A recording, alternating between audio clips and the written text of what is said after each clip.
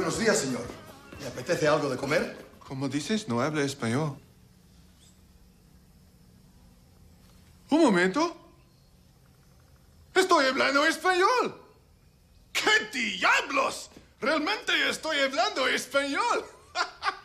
¿Qué tal que Mrs. Klein, mi profesor de español, me podía oír? Ella siempre decía que yo le podría juntar dos frases. Según veo, estaba equivocada. Hola, mucho gusto. Me llamo Elliot.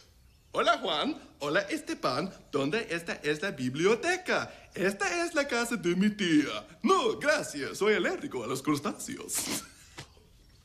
Señor, ¿se siente bien? Muy bien, muy bien, no podría estar. Bueno, el desayuno ya está preparado. Y después, a la caballeriza. Los hombres quieren que vaya a los establos para que vea el nuevo cemental. ¿Establos? ¡Oh, mis establos! ¡Qué bien! Déjale pregunta a mi querida esposa si quiere venir conmigo.